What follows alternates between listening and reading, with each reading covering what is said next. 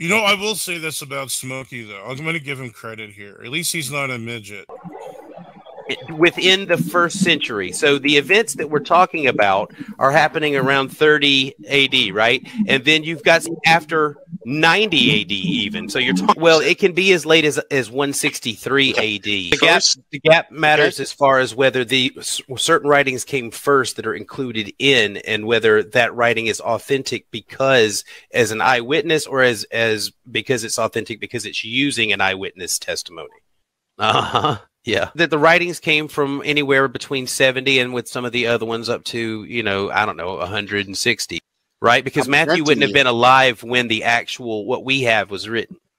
All right, but I'm saying there there is there is a gap between there, and there's that's the part that I have a hard time with. Uh huh. Yeah. Uh huh. One pathetic sob story later. Sick bastard. Ryan is a sick, sick, sick bastard. He's a sick bastard. He really is.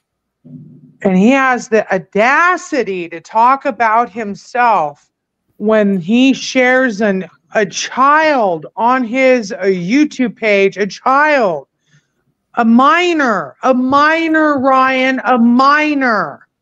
That don't mean We're adults that are supposed to protect, but you have the audacity to talk about yourself with your file a, a, a jacket, but you're going to share kids that do not belong to you, that do not know you. You are a stranger that the predators could see and go and harm these kids.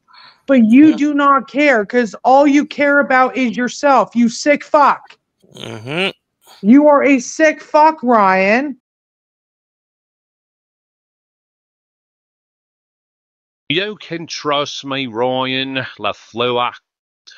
I'm Dave Connell.